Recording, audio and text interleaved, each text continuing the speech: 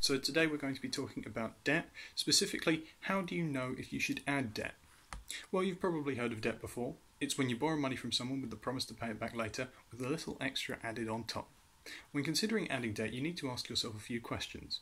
Firstly, will I be able to pay the money back? Never consider adding debt to slow down the end of a failing company. Debt isn't something you should think of as a fixable solution, and it shouldn't be used if you don't think you'll be able to pay it back. Secondly, will I make more money than if I didn't take on debt? The debt needs to be adding something to your company. If you're no better off than when you started, then maybe debt isn't the right solution.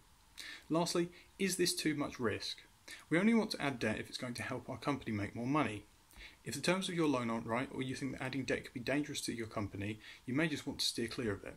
So the answer is this if you think you can pay the money back, and you'll make more money as a result, and you can handle the risk involved, then that is how you'll know if you should add debt.